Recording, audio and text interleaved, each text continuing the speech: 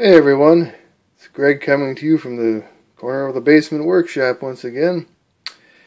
Just brought the mail in after work, and uh, lo and behold, the uh, May issue of the Wisconsin Antique Radio Club newsletter arrived.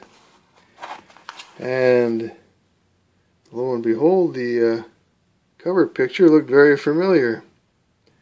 It's actually a picture of my 1946 Philco 1201 and uh, some Bing Crosby memorabilia with it.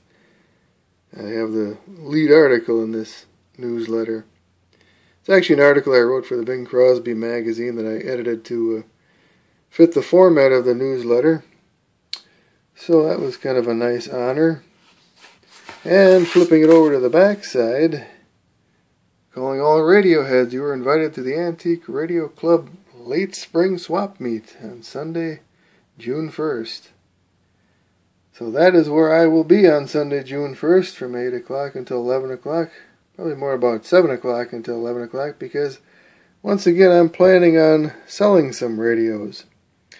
I actually picked up a couple of radios relatively cheap, and by relatively cheap I mean they were under $20.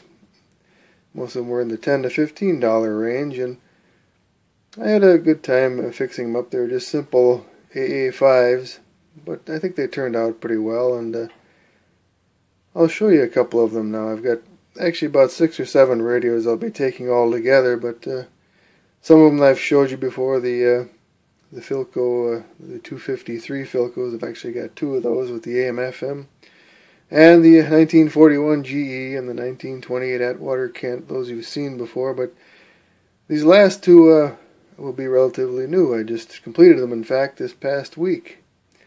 So without further ado, this is a 1951 Philco Transitone model 51-531. It's uh, the lighting's not too good down here. The uh, it's unusual because it has no dial light.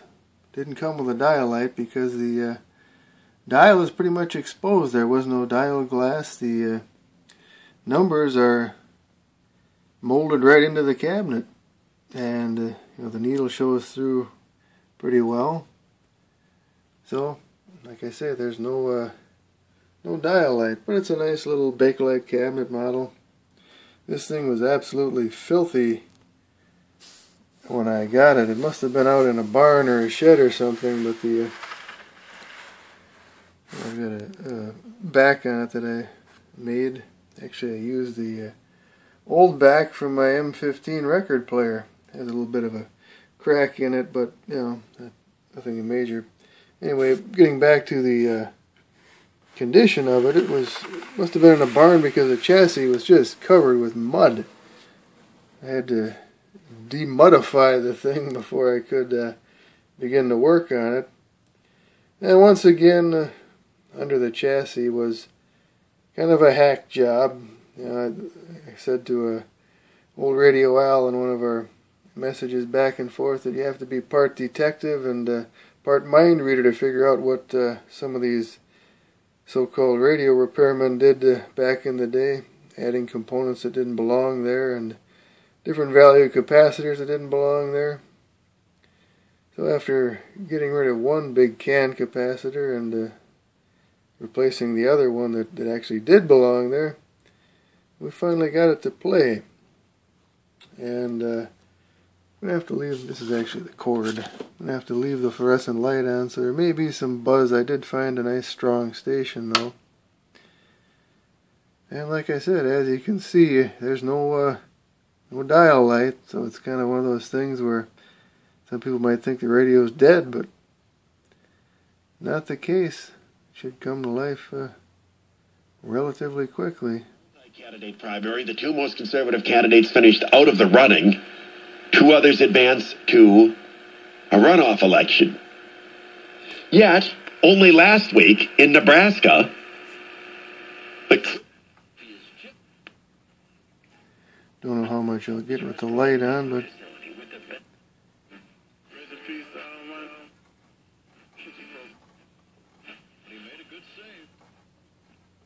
compressor expert. Just call up the at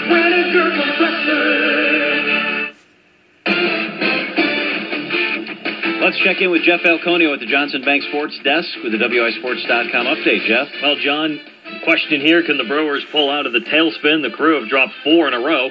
And yeah, St. Louis slowly creeping up the standings, So the Brewers take on. I didn't uh, set up the AM transmitter or anything. I just wanted to do a quick video to show these two uh, radios, but yeah, it's one of those things I'm gonna be selling it to Schaefer, meet and, uh, 6'10". You know, I'm not looking to make a, a, a great deal of money on it. If I could make five, ten bucks on it, I'd be happy. I'm not out to gouge anyone, but it's nice when you can bring a radio back to life and pass it on to someone else who's going to appreciate it.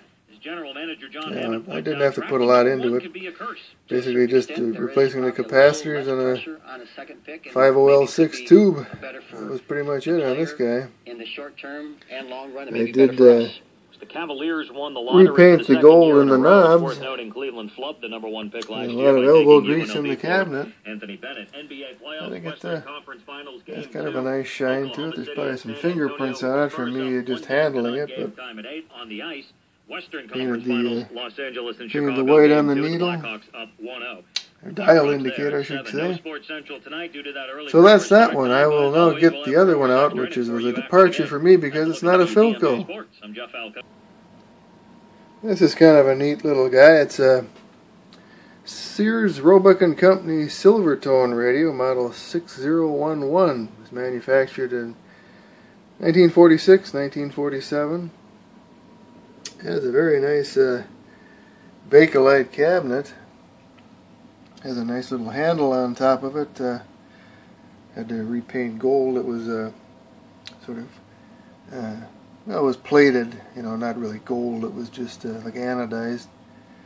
And it's got uh, push button uh, settings for a couple of Chicago stations, WBBM and WLS. A couple other stations I don't recognize, but it's actually a very nice looking little radio. Uh, turn around, uh, you know, the backside sort of carries on uh, the look of the front.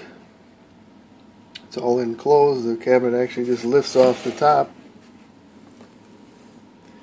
And it has a nice uh, blue dial. Actually, it was more of a turquoise color dial. I uh, the the turquoise uh, color was was anodized on the aluminum, and it was pretty much all gone. It was just silver background because, uh, oh, evidently the light or the sun or whatever uh, faded it away. So I was left with uh, wondering how am I ever going to replace that or replicate that turquoise. It was there was still some left uh, above the dial glass. Then I thought to myself, you know, my mother is a bingo player. She likes to go to the casino and play bingo, and they have these little uh, daubers, they're called, D-A-U-B-E-R, that they use to mark the numbers on the bingo cards. They have uh, paper sheets, and they just daub the uh, numbers as they're called. And she has a collection of these things, all different colors. So I went and visited her stash, and uh, lo and behold, I found one that was somewhat turquoise in color. So I asked her in a nice way if I could borrow it, and uh, she said yes. I took it into the basement and uh, smeared some of that bingo dauber juice on the backside of the dial scale, and it, it did an awesome job filling it back in again. Did some polish to the clear plastic. Uh, which is actually in remarkable shape considering it's 65 years old or older. Clear plastic generally doesn't last, uh, hold up real well. And I painted the gold down below, and I even took a. Let's see if I can focus in on this. I even took a toothpick and. Uh, oh, not going to want to focus in for me today. Took a toothpick and uh, painted the Silvertone uh, uh, logo on the scale. So anyway, let's see if this guy wants to fire up. This one does have a dial light.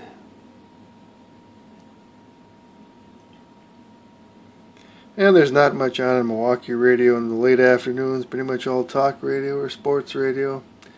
Hard to find any music on AM except for 1420 The Breeze. So let's see what we come up with.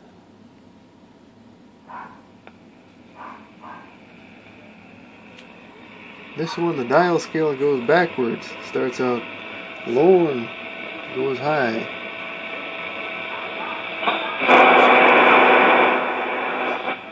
Go to go, drive up window, eat well and stay dry.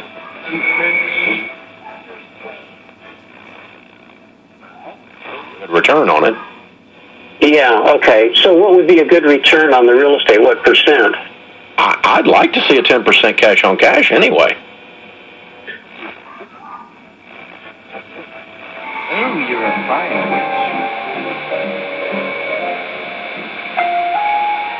The greatest songs of all time are on 1290 Discussion we had about You can choose a conservative candidate and still win the seat in a November election. I think the Kentucky Republican voters weren't so sure.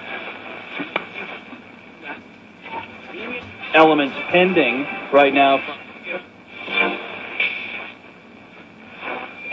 New York. Sign the petition. And as we've discussed before, it, it, things don't usually move that quickly in Milwaukee, if ever. Right. They with possible sites even for the new arena. Even before they had closed on the transaction uh, or been approved by the league, they they did get a tour. Uh, yeah, he had a good time. They were both there, uh, Mark and. So there you go, my uh, uh, latest there on acquisitions. TV, 'cause I wasn't there. All- They just were showing Hopefully, uh, because his daughter was There'll be someone else's acquisitions in a couple of weeks. and uh, of course she got. That's uh, what, one of the fun things about the old radio hobby. Uh, I've come to the realization, and I'm sure a lot of you have as well, you can't keep everyone that you run across, but it's still fun to tinker around on them and get them to play. And uh, like I said, uh, part of the fun is passing them on to someone else and seeing uh, the joy that they get out of them. So until next time, this is Greg.